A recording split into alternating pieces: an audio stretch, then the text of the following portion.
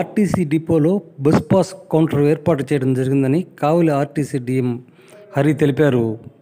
ఈ అవకాశాన్ని బస్ పాసులు తీసుకునేవారు వినియోగించుకోవాలని ఆయన కోరారు.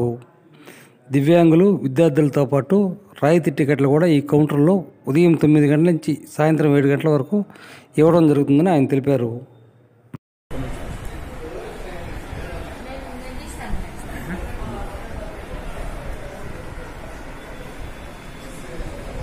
కావలి పట్టణ మరియు పరిసర ప్రాంతాల ప్రజలకు ఏపీఎస్ఆర్టీసీ డిపో మేనేజర్ యొక్క నమస్సమాంజలు.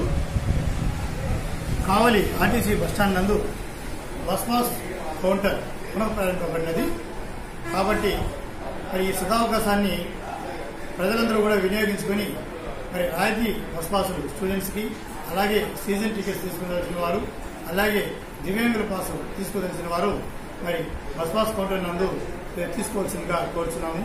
ఈ బస్వాస్ కౌంటర్ ప్రతిరోజు ఉదయం తొమ్మిది నుంచి సాయంత్రం ఏడు గంటల వరకు మీకు అందుబాటులో ఉంటుంది కాబట్టి ఈ సదావకాశం వినియోగించుకుని అందరూ కూడా రాయితీ బస్వాసులు పొందవలసిందిగా కోరుచున్నాము.